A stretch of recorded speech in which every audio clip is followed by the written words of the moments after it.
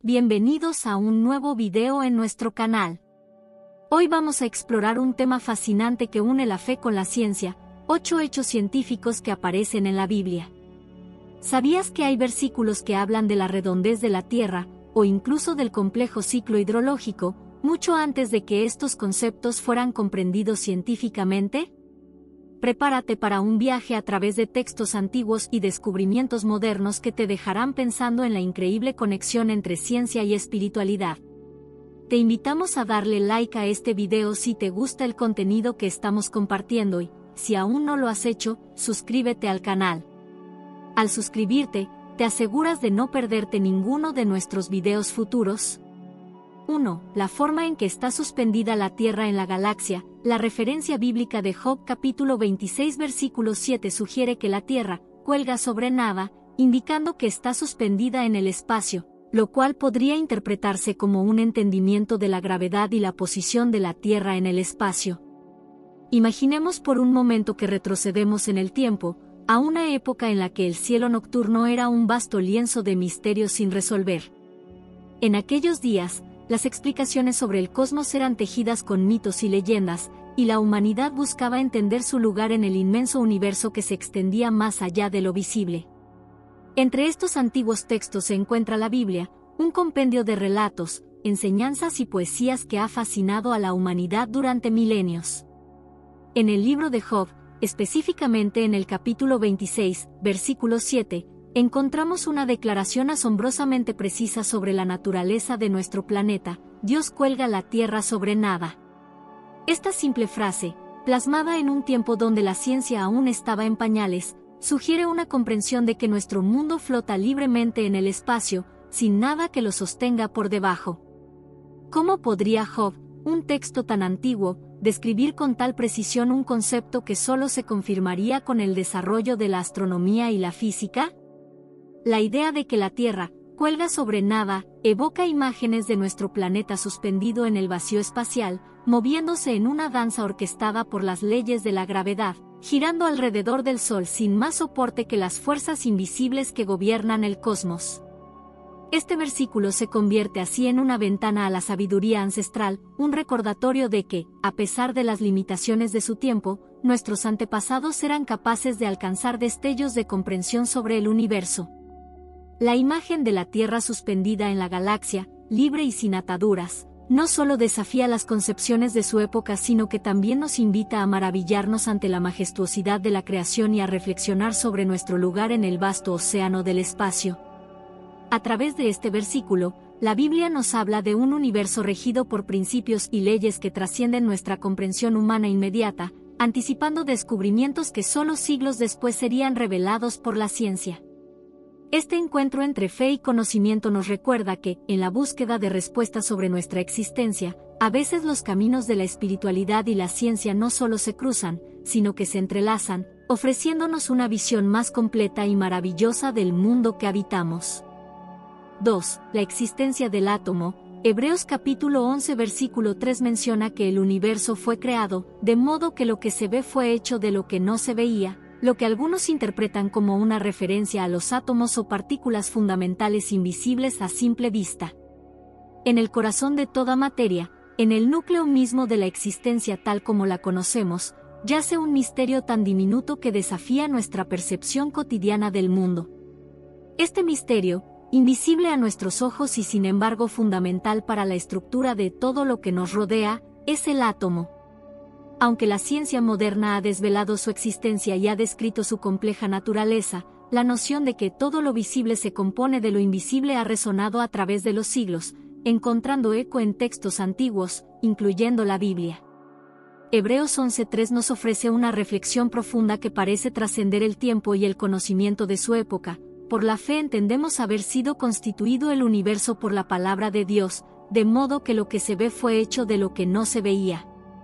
Esta frase, rica en simbolismo y significado, ha sido interpretada por algunos como una alusión a los átomos, esas partículas fundamentales que, aunque invisibles al ojo humano, forman la base de todo lo que existe en el universo.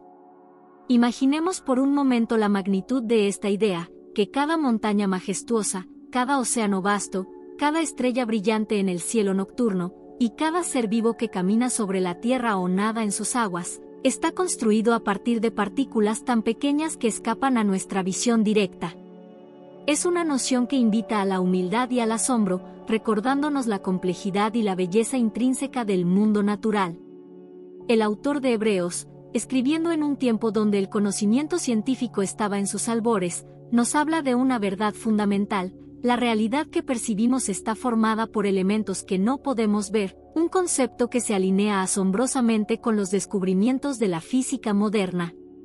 Esta perspectiva no solo desafía nuestra comprensión del mundo físico, sino que también ofrece una metáfora poderosa sobre la fe y la esencia de lo que consideramos real y verdadero. A través de esta conexión entre lo visible y lo invisible, la Biblia y la ciencia entablan un diálogo que trasciende las épocas, recordándonos que, en la búsqueda de comprender el universo y nuestro lugar en él, hay verdades que se encuentran en la confluencia del conocimiento y la creencia. La referencia a lo que no se ve como el fundamento de todo lo que existe nos invita a explorar más allá de los límites de nuestra percepción, hacia un entendimiento más profundo de la creación y la maravillosa complejidad del cosmos. 3. La redondez de la Tierra. Isaías capítulo 40 versículo 22 describe a Dios, sentado sobre la redondez de la Tierra, lo cual se interpreta como un reconocimiento de la forma esférica de la Tierra. Mucho antes de que los exploradores zarparan hacia horizontes desconocidos, desafiando la creencia predominante de un mundo plano, un antiguo texto ya insinuaba la verdadera forma de nuestro planeta. En las páginas de Isaías, un libro lleno de profecías y poesías, se encuentra una frase que ha capturado la imaginación de creyentes y pensadores por igual, Él es el que está sentado sobre la redondez de la tierra. Este versículo, Isaías capítulo 40 versículo 22, ha sido interpretado a lo largo de los siglos como una referencia a la esfericidad de la tierra, un conocimiento que, en aquel tiempo, estaba lejos de ser universalmente aceptado o comprendido. Esta simple pero poderosa afirmación nos transporta a un momento en la historia de la humanidad en el que la comprensión del cosmos era limitada, donde el cielo y la tierra eran escenarios de mitos y misterios aún sin resolver. Sin embargo, en medio de esta limitación, emerge una visión que sugiere una comprensión más profunda de nuestro mundo, una que presagia las futuras exploraciones y descubrimientos que confirmarían que, efectivamente, habitamos en un globo suspendido en el vasto océano del espacio. Imagínese la revelación que esto habría sido, no solo en términos de geografía física, sino también en nuestra percepción del lugar de la humanidad en el universo. Este versículo invita a contemplar la Tierra desde una perspectiva divina, una vista desde arriba que revela su verdadera forma, desafiando las nociones previas y extendiendo el horizonte de nuestro entendimiento. La mención de Dios, sentado sobre la redondez de la tierra, en Isaías no solo destaca la majestuosidad y soberanía divinas, sino que también sirve como un recordatorio de que nuestro conocimiento está en constante evolución. Lo que una vez fue aceptado como hecho puede ser desafiado y reemplazado por nuevas verdades a medida que exploramos y aprendemos más sobre el mundo que nos rodea y más allá. Este pasaje de Isaías se erige como un faro de sabiduría, un eco de la antigüedad que nos habla de la capacidad de la humanidad para alcanzar entendimientos que trascienden las limitaciones de su tiempo y lugar. En la redondez de la Tierra, encontramos un símbolo de descubrimiento y revelación, un recordatorio de que nuestra búsqueda de conocimiento y comprensión es un viaje sin fin, guiado por la curiosidad y la maravilla ante el vasto y hermoso misterio que es nuestro hogar en el universo.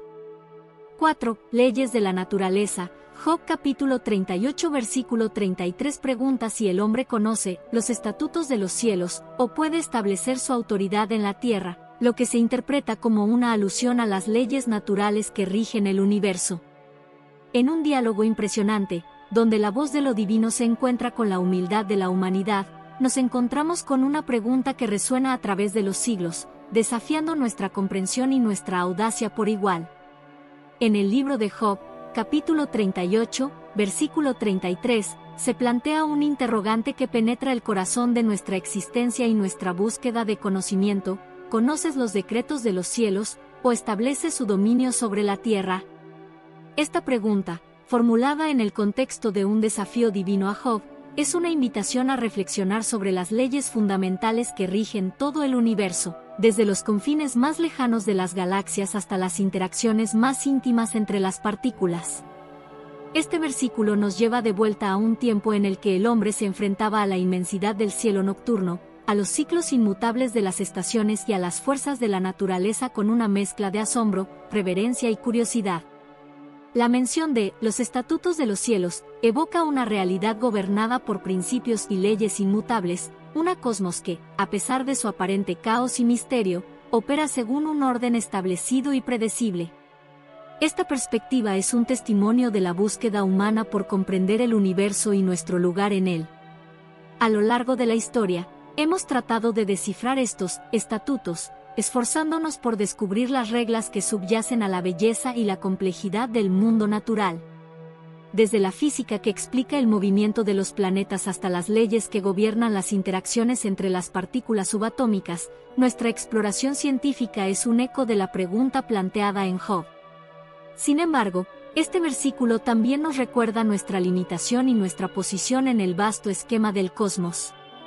La pregunta, o establece su dominio sobre la Tierra, subraya la idea de que, a pesar de nuestro progreso y nuestro creciente entendimiento, hay aspectos del universo que permanecen más allá de nuestra capacidad de controlar o dominar completamente.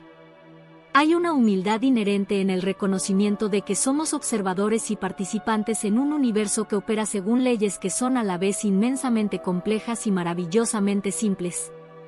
Así, este versículo de Job no solo apunta a la existencia de leyes naturales universales, sino que también invita a una reflexión sobre nuestra relación con el mundo natural y nuestro continuo esfuerzo por comprender los misterios del universo.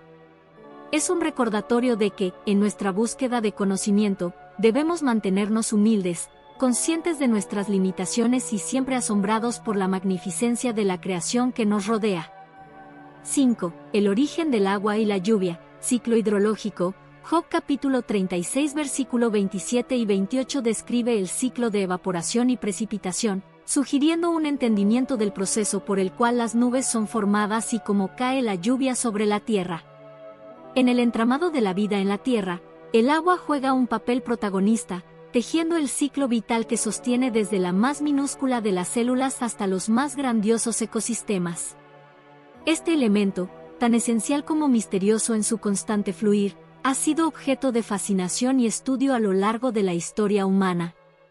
En el libro de Job, específicamente en los versículos 27 y 28 capítulo 36, se nos ofrece una mirada a este ciclo hidrológico con una precisión que asombra por su clarividencia. Él atrae hacia arriba las gotas de agua, se filtran como lluvia para su neblina, de modo que las nubes destilan, gotean sobre la humanidad abundantemente. Este pasaje refleja un entendimiento sorprendentemente detallado del ciclo del agua, describiendo el proceso de evaporación y condensación que culmina en la precipitación. La imagen de las gotas de agua elevándose hacia el cielo, transformándose en nubes y luego regresando a la tierra en forma de lluvia, nieve o granizo, es una descripción poética pero precisa de este ciclo vital. Imaginemos por un momento la época en que estas palabras fueron escritas.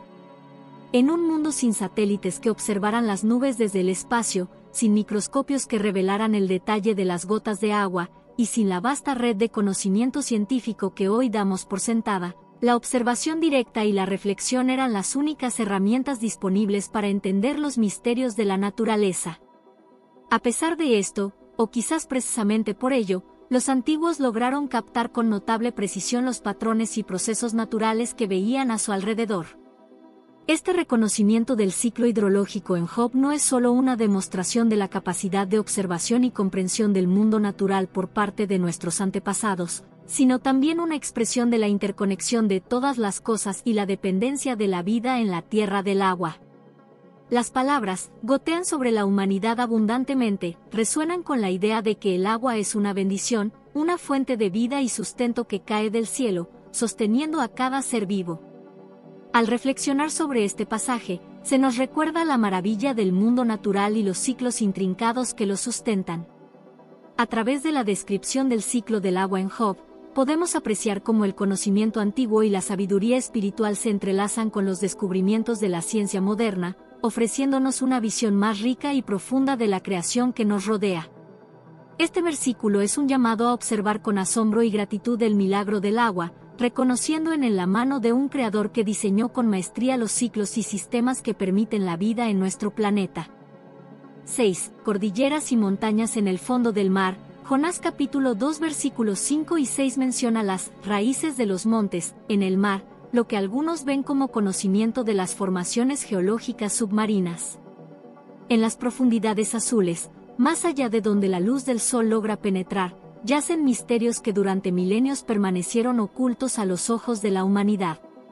El mar, con su vastedad y profundidad, ha sido fuente de leyendas y temores, un reino inexplorado que despierta la curiosidad y el asombro. Sin embargo, en el antiguo relato de Jonás, específicamente en los versículos 5 y 6 capítulo 2, encontramos una referencia sorprendente que sugiere un conocimiento de las maravillas ocultas bajo las olas, me rodearon las aguas hasta el alma, el abismo me envolvió, la alga se enredó en mi cabeza. Descendí hasta las raíces de los montes, la tierra con sus cerrojos me encerró para siempre, pero tú sacaste mi vida del pozo, oh Señor, mi Dios. Este pasaje, narrado desde la perspectiva de Jonás, encerrado en el vientre de un gran pez, habla de las raíces de los montes, en el mar, una frase que evoca imágenes de montañas y cordilleras sumergidas, extendiéndose en la oscuridad del fondo oceánico. Para un mundo antiguo sin la tecnología para explorar las profundidades marinas, esta mención es notablemente perspicaz. Revela una intuición o tal vez un conocimiento fragmentario de que la tierra bajo el mar no es una vasta planicie sin características, sino que alberga relieves y formaciones tan complejas y majestuosas como las que encontramos en la superficie.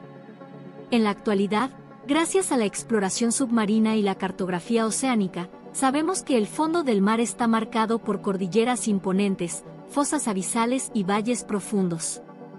Estas formaciones geológicas submarinas juegan un papel crucial en la tectónica de placas, los ciclos biogeoquímicos y la biodiversidad marina.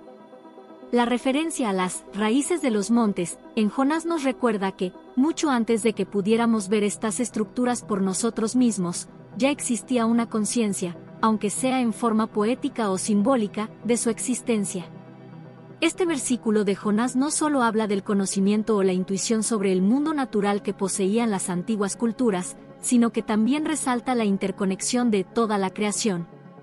La mención de montañas bajo el mar nos invita a considerar la maravilla de la creación en su totalidad, reconociendo que hay más en el mundo de lo que se ve a simple vista.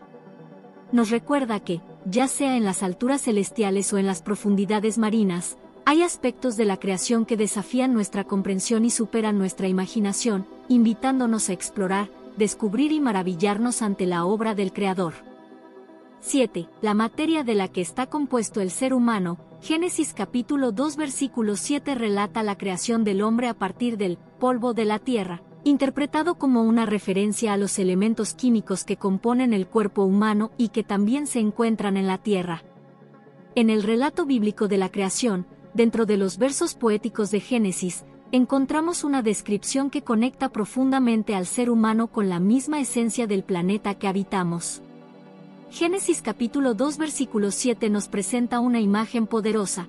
Entonces Jehová Dios formó al hombre del polvo de la tierra, sopló en su nariz aliento de vida y fue el hombre un ser viviente. Esta frase, más que un mero acto de creación, sugiere una unidad fundamental entre los seres humanos y el mundo natural, destacando que estamos hechos de la misma materia que conforma la Tierra. Esta idea, vista desde una perspectiva contemporánea, resuena con lo que sabemos hoy gracias a la química y la biología.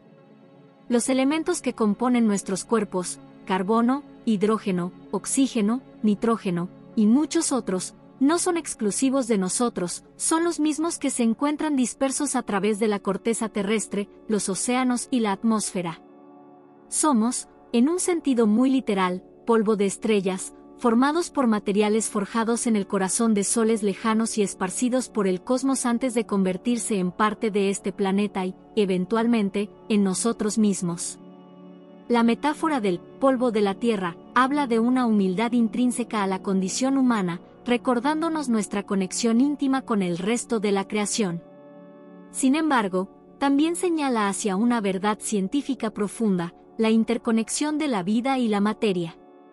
Cada elemento dentro de nosotros tiene una historia que se extiende mucho más allá de nuestra existencia individual, ligada a ciclos geológicos, biológicos y astronómicos que preceden y superan nuestra comprensión.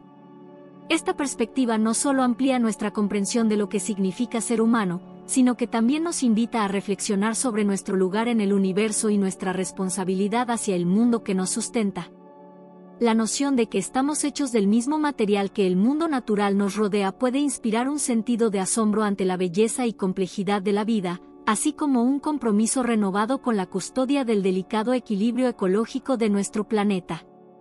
En este versículo de Génesis, entonces, encontramos una convergencia entre fe y ciencia, entre la visión bíblica de la creación y nuestro entendimiento moderno de la naturaleza nos recuerda que, en cada partícula de polvo y en cada aliento de vida, hay una historia de interconexión y de pertenencia compartida a este asombroso y frágil hogar que llamamos Tierra.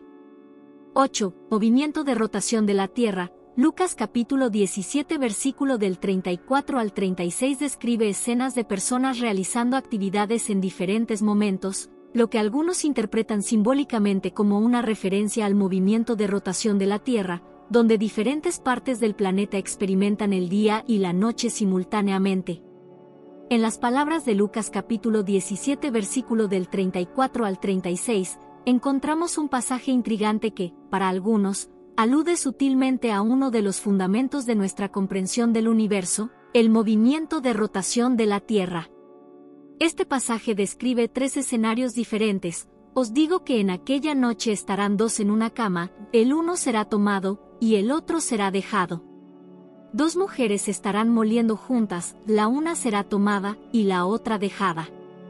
Dos estarán en el campo, el uno será tomado y el otro dejado. A primera vista, estas palabras parecen centrarse en la idea de la preparación y la vigilancia, pero una interpretación más simbólica sugiere una visión del mundo que reconoce la simultaneidad de la experiencia humana a través del globo, marcada por el continuo ciclo de día y noche. Este pasaje, al describir actividades tan variadas y cotidianas, podría estar señalando sutilmente a una realidad que nos es familiar hoy pero que era menos comprendida en tiempos antiguos, en cualquier momento dado, mientras algunos duermen bajo el manto de la noche, otros trabajan bajo la luz del sol.